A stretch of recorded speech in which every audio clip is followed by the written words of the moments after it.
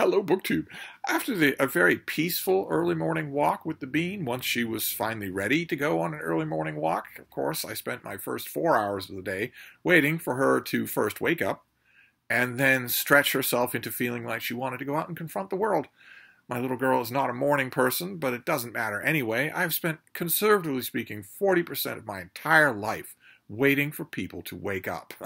so once we were done with that, we had a beautiful peaceful early morning walk. And then when when we were back here and I'd I'd fed her and you know settled her down and whatnot, I realized that it had been ages since I paid a visit to the Brattle Bookshop here in Boston, a used bookstore downtown in Boston that is uh, wonderful, just wonderful, crammed full of new books on every subject in the world except for romance, and constantly being renewed they're out buying all the time. So it's not like uh, some used bookstores that I have known. Some used bookstores have been my neighborhood used bookstore where stock really doesn't change all that much. Every once in a while, it's a big deal. You notice right away when the owner has bought a box of books, and it's one box of books. The Brattle will go out and routinely get 100 boxes of books at a time.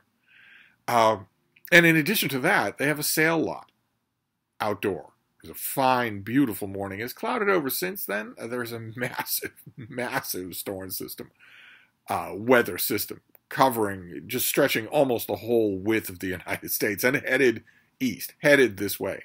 So that the weather forecast apps are predicting a significant chance of rain here in Boston for the next four days straight. I don't know if that'll happen, but uh, we're definitely getting the trailing edges of that now. And but we weren't this morning first thing this morning was absolutely beautiful, and the Brattle Sale Lot is uh, is open to the elements. They are they wheel the carts out and opened up the side the side walls of the lot every single morning, and that's thousands more books. Also prone to enormous overturn and one dollar, three dollars, and five dollars. So easy to fill your arms with books. And I knew that that forecast was coming. I knew that there's a chance that it will rain, maybe even rain for four days there's no use. There's no going to the Brattle sale lot in the rain. The carts are covered over. Uh, so I went. it had been so long, but I, I went to see what I could find. And I found a lot. I found a gigantic pile of books that I want to show you. We will start with uh, mass market paperbacks. I found a lot of mass market paperbacks. Of course, I've mentioned you many times before. Mass market paperbacks are the normal size, not those taller uh, airport books, but the ordinary traditional mass market paperbacks are not made anymore which means there's a finite number of them. They're not constantly being remade, which means that if you find, I don't even want to call them vintage, but if you find old science fiction or Western or mystery or old mass market paperbacks of any kind, it stands to reason just mathematically that the more you shop in used bookstores, the fewer of them you will see. Granted, some of them are in catch piles in big hoards that haven't broken open into the public, but the Brattle is routinely finding those hoards. So, I I used to love mass market paperbacks for a long, long time. They were the only kind, the only size of book that I that I had was mass markets. Didn't I scorned trade paperbacks, which weren't all that common, and also hardcovers as just being huge and unwieldy. Of course, now I view all print and paper books as huge and unwieldy because of ebooks. But when I find mass market paperbacks, especially if I don't think I'm ever going to see them as an ebook, I grab them. And I am guided by BookTube when that happens. A lot of times I am guided by BookTube because BookTube has big events, reading events, big and small. Uh, and that always intrigues me. I'm always on the lookout for fodder for those events. Like, for instance, uh, in August, there's Garb August, Ollie at Criminale has made a, an instant booktube success with his now years old event called Garb August, where in, Gar- in August, at the dog days of summer here in the Northern Hemisphere, we read garbage, we read trash. and uh, I found a science fiction novel that I'm suspecting is trash. I might be, I might be wrong, but I doubt it. It's by Stephen Lee, and it's called Doctor Bones: The Secret of Lona. Uh, I don't know if that's Lona behind him. He seems singularly unconcerned. Uh, beyond Indiana Jones, beyond Doctor Who, incredible, the incredible adventurer whose exploits span the stars. Uh, okay, his name is Dr. Bones. His adventures will take him across a perilous galaxy in search of lost cities, secret empires, and vanished species, and sometimes into the exploits when his background makes him the best man for the job. This looks like trash to me. I could be wrong, it could be really good. It's wrong in one way, at least. There is no beyond Doctor Who. Okay, there is no beyond the Doctor but I I understand what the what the writer on the cover was going for. So we'll see. Uh, it's it looks like it's 1980s. Uh, am I right about that? Yeah, 1988. So too late for Rocket Summer, another BookTube event, a BookTube event in July. Uh, but definitely a candidate for Garbox.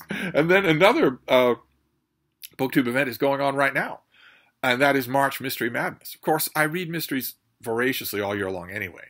I don't I don't just leave them for March. But I found yet another mystery. This one's in a little bit of of uh, rough shape. I'll have to I'll have to shore this up just a bit.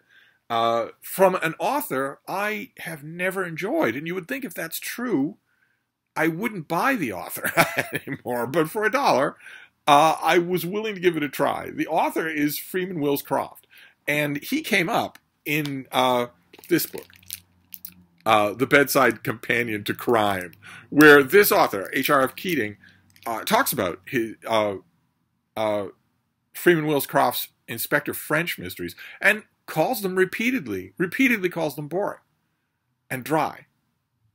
More mathematical problems than they are human dramas. And I I guess maybe I had never known that Keating did that or that any other mystery author has done that because I've encountered Croft many times every time I find him a book of his for a dollar or 50 cents, I read it and always have the same reaction that that was absolutely sapped of life. But Croft had a big career. He was extremely popular. So I keep thinking there might be something I'm missing. Now I know that maybe that maybe there's not anything I'm missing because Keating knew in his lifetime a lot more about murder mysteries than I do and he also found this author Donald, but I found this old this old popular library of uh, Tragedy in the Hollow. Got a little bit of a divot there out of the cover, so I will uh, I will fix that and maybe reinforce the spine while I'm at it.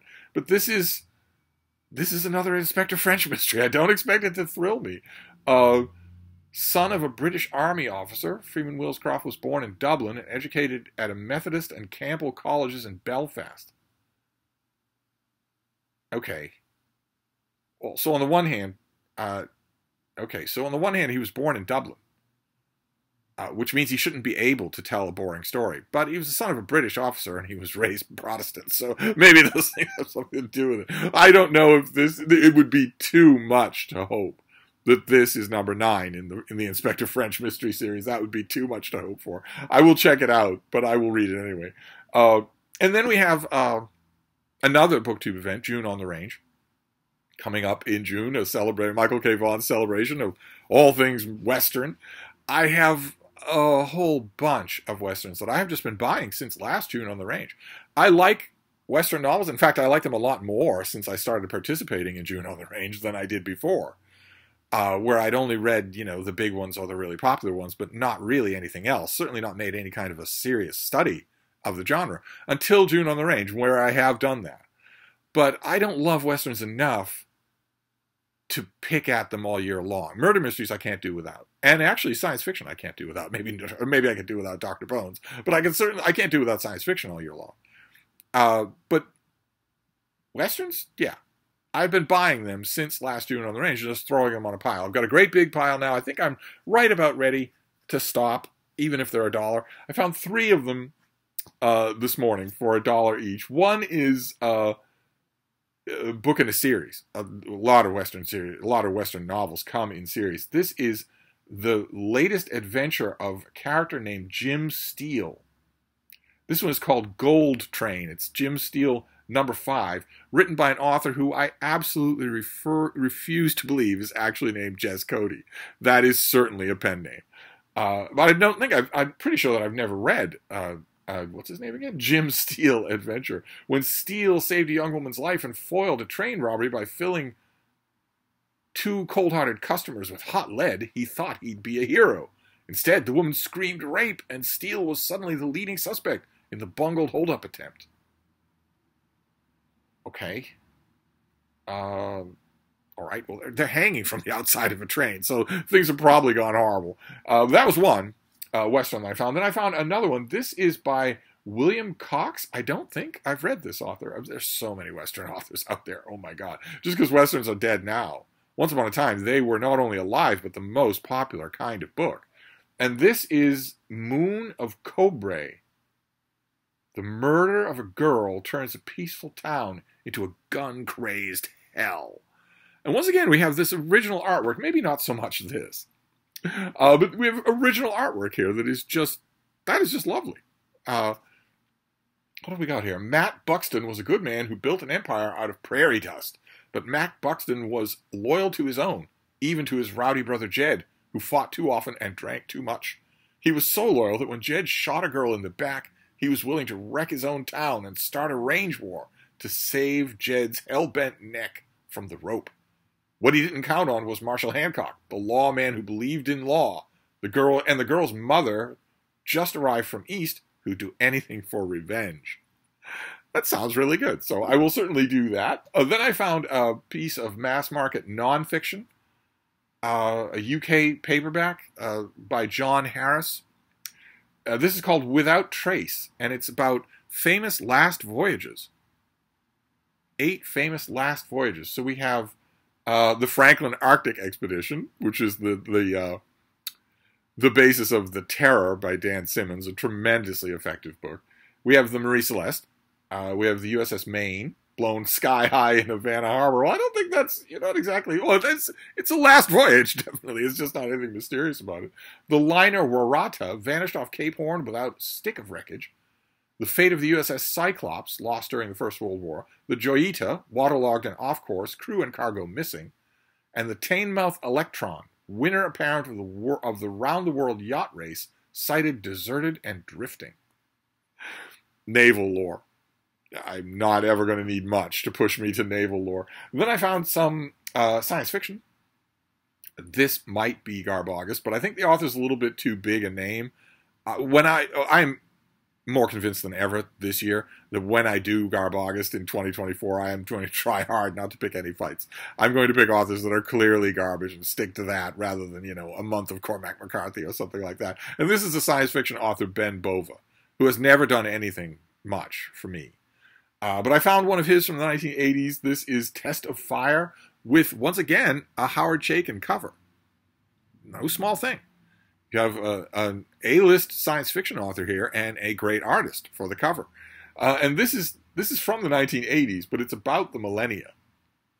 It's about the, the millennium. Cities become ovens, grasslands become seas of flame.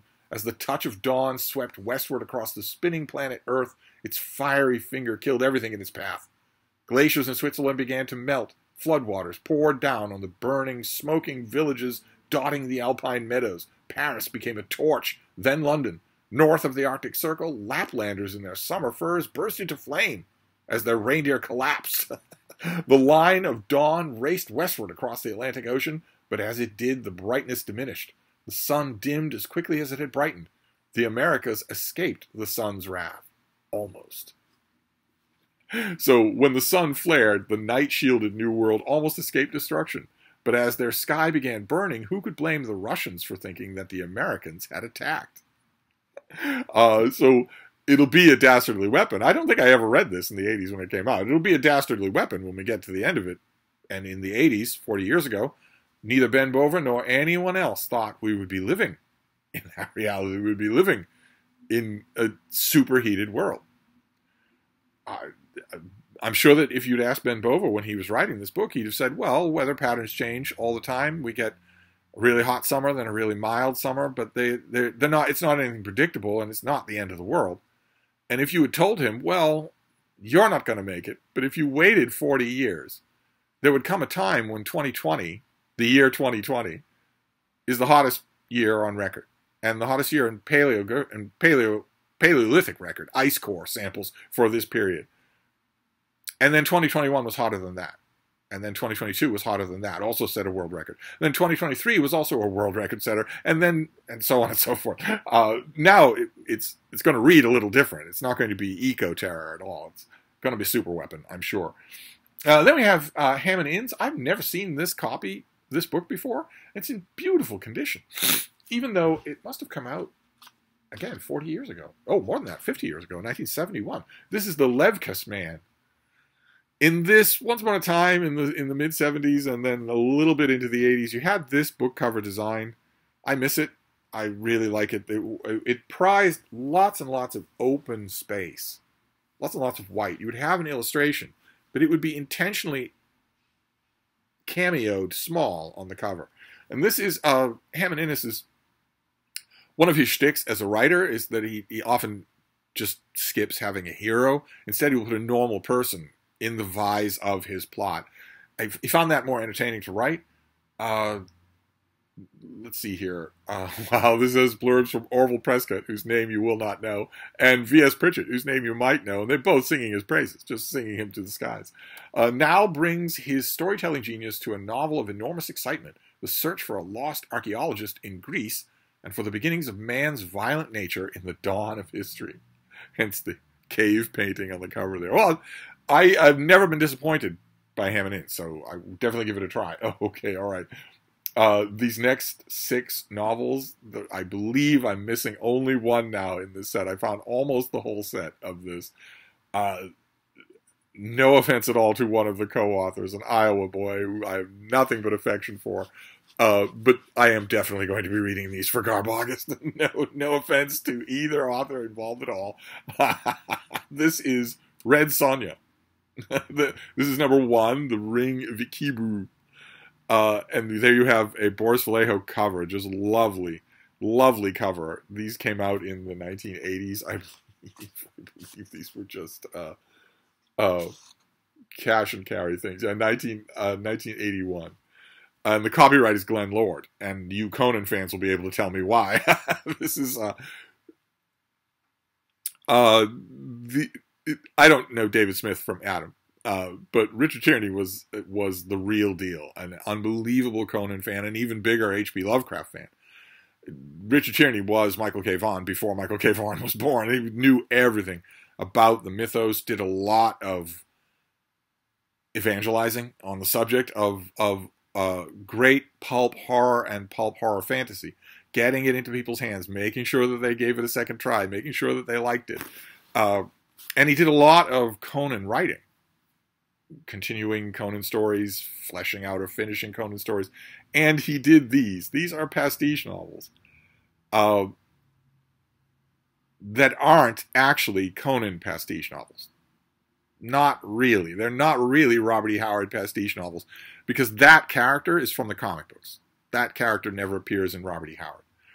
It's the name of one Robert E. Howard character, not spelled that way, but close enough, spelled with a Y, and the attitudes and the swordsmanship of another Robert E. Howard character, two female characters drawn from two different stories uh, that don't have much dramatic potential on their own. The Marvel Comics writer Roy Thomas uh, melded those things together and created a character in the Hyborian Age, a contemporary and friend of Conan called Red Sonja, who is big and red haired and has an unbelievable skill with a sword that is enhanced by the fact that she was granted invincibility by a goddess in exchange for her devotion to that goddess. Let no man bed you, and you will be unbeatable. And that Red Sonja, not the character named Red Sonja from uh, one story by Robert E. Howard, and not the the idea of a female swords fighter from another story by Robert E. Howard, but rather this character effectively created by Roy Thomas, took off. Fans loved this character. Absolutely loved this character. Made it into the big screen. I should make it into the big screen again, although God knows that that would not be an easy movie to watch in 2024, since as she has in the comic book, she would be wearing a shapeless potato sack instead of the infamous chainmail bikini. and, and uh, in ye olden days, in the 1980s, uh, Richard Tierney was was uh, and his and his co-writer were approached to write a series of Red Sonja novels, and his name actually came up in my emails just recently, uh, from a trip last week that I did to a used bookstore with David Murphy, where I came back at, uh, from that trip with a bunch of Cormac mac Art novels by Andrew Offutt. Uh, and I I read most of those. I think I've read all of those, the, the Cormac mac Art, novels that I found. I, I think I've read all of them before, but I'm gonna I'm really gonna enjoy reading them again. And when I was making that haul in that video, I mentioned that I think Andrew Offutt is the only person who's ever done pastiche fiction of Bran Mak Morn. And that, of course, isn't true. Of course, that isn't true. That's ridiculous. I know better because Richard Tierney did a, a some great Bran Mak Morn pastiche fiction. And I just, uh, some uh, Cormac mac Art pastiche fiction that I just, he is all over the Conan world. And he agreed to do these with his co writer. Uh, and this is exactly what I'm talking about when I say that old vintage mass market paperbacks are just going to get rarer and rarer. Not in terms of collectability, but in terms of you ever seeing them in a used bookstore. You're just not going to see them anymore. Time moves on. And it, it, since these things aren't made anymore, they're just going to be harder and harder to spot. So I found this and grabbed it for Garb August, but I also found almost all the others. I found the second one, Demon Knight, another Boris Vallejo cover, just terrific. Uh, I found the third one, When Hell Laughs. Look at that, just incredible. I found the fourth one, Endithor's Daughter. There's Red Sonja in a pensive mood, just sort of wondering what's going on. I found number five, Against the Prince of Hell just fantastic. I remember when these were coming out. I think I bought the first one when it came out, and then just thought nothing of it. And God knows where it is. Beagle probably ate it. And then number six, Star of Doom, where she faces uh, a sorcerer. And I think the the irony here, the thing that bites just a little, is that I think there were only seven of these. I think I'm only now missing one. I don't know. I don't know if that's true. I don't remember any other covers for this, but I think that that uh, that Richard did seven of these things, and they were done quickly, and they were done lots of fun, lots of boys. These are wonderfully boisterous novels. They are not Tolstoy, and I I'm not I am not offending either of the authors to say so. I think they will be perfect for Garb August, especially since, although there's Rocket Summer, there is no massive event in our little corner of booktube for fantasy which is a terrible shame. We need more booktube events. There aren't enough of them. so, so those were all of the uh, mass market paperbacks on almost all the Red Sonja novels that there are. Almost. Uh, and then we can move on. Like, for instance, I found a Europa edition. This is from just a couple of years ago. Is that right? Uh, oh, no, it's from a long time ago, 2010. This is Jane Gardam, uh, who did Old Filth that I hauled on this channel just recently. This is God on the Rocks, a little coming of age novel of hers that I don't think I've ever read. It'll take an hour to do, uh, so I wasn't going to pass it up. Uh, then what do we got here? You got some schmutz on your cover. This is by David Crouch, and it is a book about William Marshal. A thin biography. William Marshal has a, a one famous thin biography. This is not it. I think the subtitle of that one is called Flower of Chivalry. This one is called Court, Career, and Chivalry in the Angevin Empire, 1147 to 1219. That's a long time. And William Marshal was right at the heart of Angevin politics that whole time. He served a whole bunch of monarchs in the Plantagenet family who hated each other. They all managed to rely on him. That was a tricky thing to do. Uh, his story is fascinating. I wish that we had more information about it. There's one particular archive, one particular source that I really wish we had. That, I, as far as I know, it has not come to light. It may be lost. Uh, I have that other. What's some of you are going to know the book I'm talking about. It's not coming to my mind. I have the other one though. I have the, the other thin William Marshal biography, Shower Flower of Chivalry, or something like that. Uh, I have that here, but I'd never heard of this before. And it, it, it's it's not that William Marshal is all that interesting. I, I don't think that he was. I don't. I don't think that he was completely sentient. But studying his life gives you an incredible view of Henry II and Richard and John and Geoffrey and young Henry and Eleanor of Aquitaine. Gives you an incredible insight to all of them. Is he was their right hand man, all of them somehow, even though they hated each other, they all relied on him. Uh, then I found, I found this thing. I can't believe it. Uh, this is this is the author James Lees-Milne. I I've he's come up on this channel before. He's writ, wrote a whole bunch of weirdly unclassifiable books.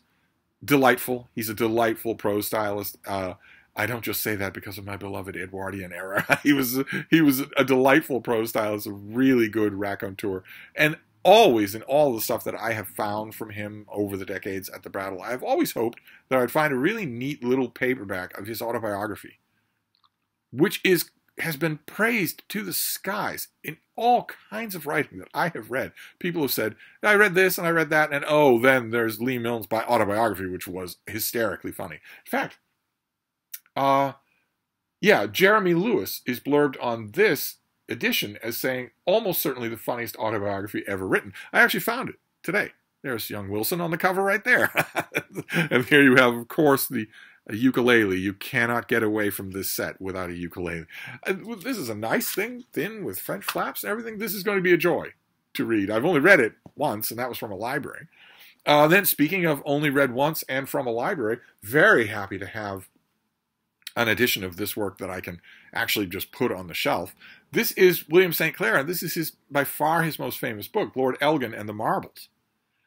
About the Elgin Marbles, not just about them, but about also the man in question. so, so this really works as a biography for people, uh, but also a study. It's a study of uh, the procedures. I hate to use the word colonial, but I guess we have to. The colonial procedures for expropriating artwork from the tiniest little cameo to gigantic slabs of carved marble and bringing them to climate controlled museums in the in the industrialized west getting them out of africa or civil war torn greece or wherever and putting them in a museum where people can go and see them rather than leaving them there to be choked and disfigured and chipped and graffitied and eroded by smog and car exhaust or whatnot. Uh, and of course, now this has become synonymous with the with the decades long uh, drive to get these things repatriated, to send them back to the Parthenon. And this book is a, another one of its strengths. In addition to how readable it is, is that it's also a, it spends a lot of time on what the Parthenon was to the ancient Greeks. So it's it's a feast of a book. I'm very was very very happy uh, to find a copy. Uh, also, I was very happy to find a copy that was clean. A lot of time you find uh, Lord Elgin and the Marbles, and it's it's been heavily marked up. I don't know why that would be. Maybe it's taught in schools or was once upon a time. Oh, here, let's put all these mass markets back because we have a few bigger trade paperbacks and hardcovers as we move slowly into dude bro territory and as we move towards what I think has to count as the find of the day. Uh, but first, we have a UK trade paperback. Of these I love these things. I for some reason I love the paper stock and the binding method and whatnot. This is by John Boyne. I have an, an on again off again relationship with John Boyne. I didn't quite know what to make of Ladder in the Sky, uh, and I really like The Heart's Invisible Furies. I thought that was terrific. He's, I've read a couple of other books of his that have come to me, usually through Book Depository, the late lamented Book Depository, that didn't strike me as any good at all. And I don't mean a good author having an off day. I mean unpublishable and yet published. And this is one I have not read. Of course, John Boyne is most famous, I think, for The Boy in the Striped Pajamas. Uh, the Heart's Invisible Furies is a lot better than anything else I've read by this author, but I haven't read everything. And I've never read this. I it's a historical novel, and I I would have grabbed it anyway, even if it weren't by John Boyne, for the sheer cheek of what he called it. This is a novel called Mutiny on the Bounty. and it's about a, a cabin boy who, who takes service on the bounty. 14 year old boy, John Jacob Turnstile, has got into trouble with the police on one too many occasions and is on his way to prison when an officer is put to him when an offer is put to him. A ship has been refitted over the last few months and is about to set sail with an important mission. The boy who was expected to serve as the captain's personal valet has been injured, and a replacement must be found immediately. The deal is struck, and Turnstile finds himself on board, meeting the captain just as the ship sets sail. The ship is the HMS Bounty, and the captain is William Bligh, and their destination is Tahiti. So this is, this is a historical novel about the mutiny on the Bounty. and John Boyne decided to call it the Mutiny on the Bounty.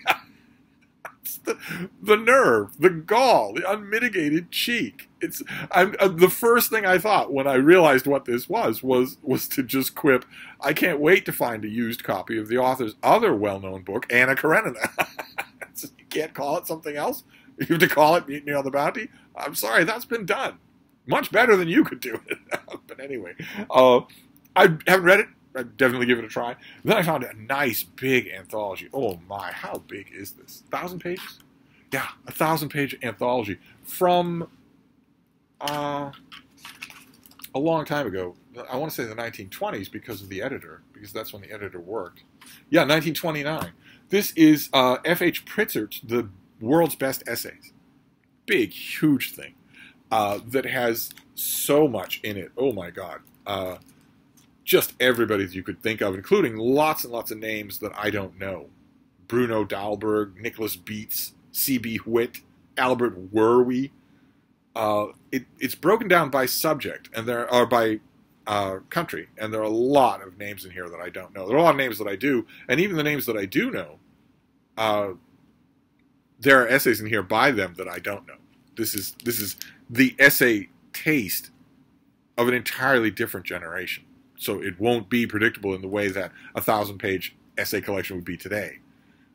I love these sorts of things. I don't ever, I usually don't ever read them front to back. Instead, I will put a bookmark in this and pop all around it and see. Uh, I, have, a complete faith in the in this editor. We will just see.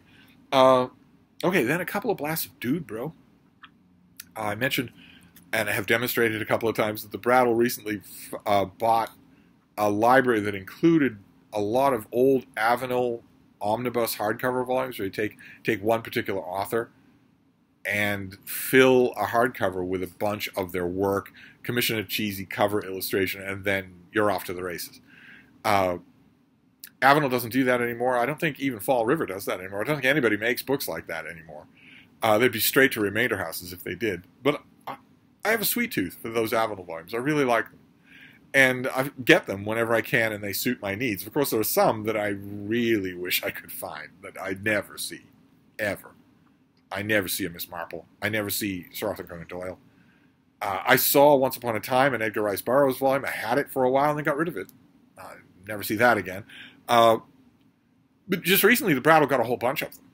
And they have been making their way into the sale lot in bits and pieces and I found two today. They were. It's just. It's just a joke on my part. It was not intentional that they're dude bro. There was plenty of other stuff there, but the two that I found today are, uh, quite dude bro. the first is John MacDonald. These are uh, Travis McGee novels.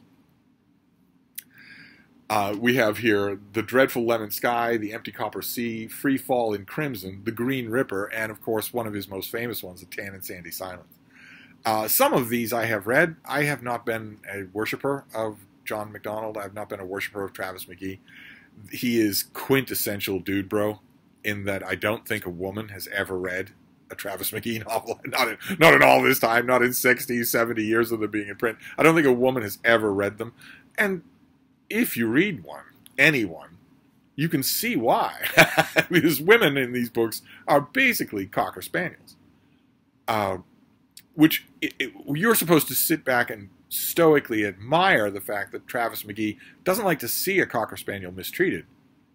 And he's going to be really kind. I've got a lot on my mind. I certainly no one could criticize me if I belted you for no reason, but because I've got a lot on my mind. You don't have a mind, so you don't know what that's like. I have a lot on my mind, but even so, even given that, I'm going to be gentle with you, and for that I expect the applause of the gallery just unridiculous, just ridiculous industrial strength sexism. but uh, I, I just read a Travis McGee for for March Mystery Madness. I just read uh, "Gray is the color of regret" or something like that. There's always a color in one of his titles, uh, and so I saw this. I, when I was reading that book, I realized I don't have any Travis McGee in actual paper and print format. So when I saw this for a dollar, I grabbed it. Uh, and the other the other omnibus edition that I found today also just happens to be Dude Bro, where uh, once again you have one dimensional. Where calling the female characters in these books one dimensional would be an insult to spatial dynamics. this is Alistair MacLean, who a lot of you will know from uh, When Eagles Dare or Ice Station Zebra or whatnot. And uh, I found an, a, a, a, big brick of a book of his uh, with Richard Burton on the cover. How do you like that? what a great cover there. So we don't have we don't have a cheesy illustration. Instead, in a rare instance for one of these Avenel omnibus volumes, we have a photograph. So this has Where Eagles Dare, HMS Ulysses, Ice Station Zebra, When Eight Bells Toll, and The Guns of Navarone. So basically, I mean, Where Eagles Dare, HMS Ulysses, Ice Station Zebra, and The Guns of Navarone are the books that this author is most famous for. And here they are all in one book. That's I, I love these Avenel volumes for that reason. Uh, and th- so that was a blast of dude, bro. And then I found I found a cheesy old classic from. I should know the date. Is this the 1960s? It must be. Oh, 1972. Okay. I love this book. I don't know how many copies I've had. I go through them. I haven't seen one in a while. I grabbed this one even though it's not in the best of shape because I like having it. It just is a source of it's a comfort blanket for me. Uh, of once upon a time it being the sum total of knowledge. It's now so ridiculously outdated, but it doesn't matter because it's it was a labor of love. This is life before man with his killer cover. It's slightly oversized, and you can see that the the ambit goes here from uh, the billions of years when the only life on Earth was single-celled organisms, was scum. Billions of years for that, that that was true. Where this was a planet that had life, but not even multicellular life, much less chordate life. Not even close to that. Just scum in the water. Uh, but it takes you from there, you can tell from the back cover, it takes you from there right to the doorstep of man. Maybe technically before man, but not much before man. and it's all, the illustrations are by Z. Burian, and the text is by Z. Spinar. So we got a lot of Z's going on there, but this is the kind of artwork that I'm talking about. And it's all through this thing. Look at this. Look at the Spinosaurus. Oh my god. it's all through this volume. Just uh, let's let's get to uh, there's Quetzalcoatl, or rather, our Archaeopteryx. Look at that, huh?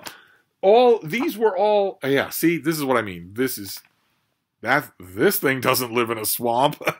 this it's there's outdated stuff going on here. Outdated conceptions of what these things were like.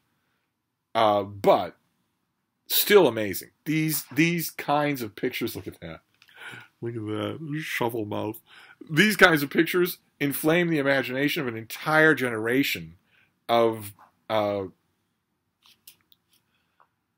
paleontologists, of, of, archaeologists. Just a whole generation of them grew up on pictures like this.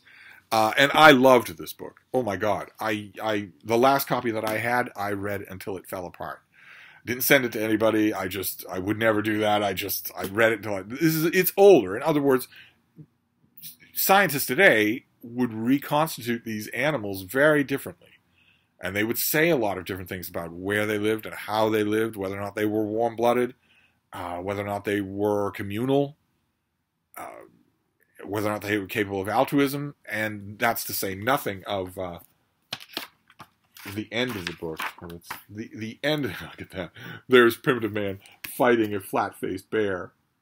Uh, needless to say, a lot of the details here have been superseded by later research. But I don't, this was such a labor of love that I don't really mind. I don't really mind at all. I conjure with these pictures every bit as much as I do with the latest research that oh, that overturns a lot of these pictures. So um, I was overjoyed to find a copy, even though it's it's in rough shape. I'll be careful with it. And then the last thing uh, certainly counts as the find of the day, and is in direct correspondence with the previous Brattle trip that I had.